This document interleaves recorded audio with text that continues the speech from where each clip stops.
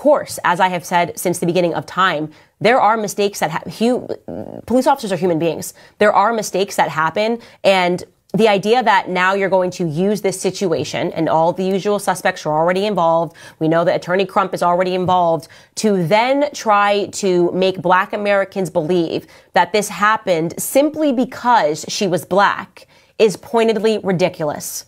So I am saying to black Americans today, do not take this bait. Yes, what happened in this situation, I think he's going to have a very hard time, this officer, saying that he absolutely felt so threatened by boiling water that the only solution was for him to mindfully say, I'm going to shoot you in the face, and that's what he did. I think that that is, that is going to be a very steep hill to climb.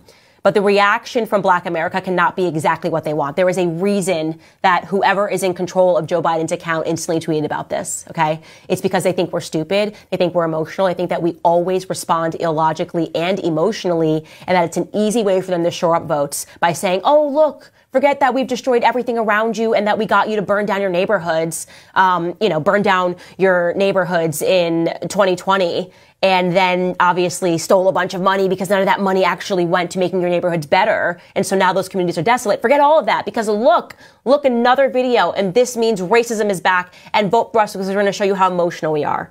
And that's exactly what Joe Biden did. He tweeted this on the heels. He wrote, Sonya Massey, a beloved mother, friend, daughter, and young black woman should be alive today. Sonya's death at the hands of a police officer reminds us that all too often black Americans face fears for their safety in ways many of the rest of us do not. Sonya's family deserves justice. I am heartbroken for her children and family as they face this unthinkable and sensible, senseless loss. Jill and I mourn with the rest of the country, and our prayers are with Sonya's families, loved ones, and community during this devastating time.